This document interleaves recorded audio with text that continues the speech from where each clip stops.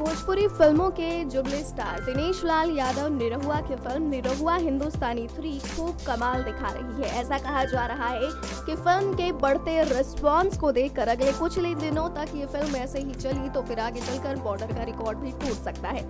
Border से याद आया कि जब बॉर्डर फ़िल्म रिलीज़ हुई थी उसके कुछ दिन पहले, निरहुआ का शशिकांत के साथ कई दिनों तक विवाद जोरों पर रहा। उसके बाद खेसारी और सुधीर सिंह के विवाद पर भी निरहुआ ने कई सारे पक्ष दिए खेसारी के सपोर्ट में। इसलिए कई बार निरहुआ को भी कंट्रोवर्शियल किंग का खिताब दिया गया है।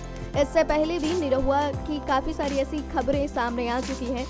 जिसको देखकर कंट्रोवर्शियल किंग का खिताब जीतने के बाद जब निरहुआ ने इंटरव्यू दिया तो उसका सफ़ाई देते हुए निरहुआ ने ये बताया कि मैं कंट्रोवर्शियल किंग बनूं या जो बनूं, मुझे उससे फ़र्क नहीं पड़ता, लेकिन इंडस्ट्री मेरे घर जैसी है, जिसकी रक्षा करना मेरा कर्तव्य है, इसलिए अगर वहाँ किसी को भी परेशानी होती है किसी तरह की तो मैं खड़ा हो जाता हूँ। इसमें कोई गलत नहीं है, क्योंकि मैं हमेशा सच का साथ देता हूँ, मुझे अच्छी चीज़ नहीं लगती कि मेरे घर के लोगों को कोई परेशानी दे।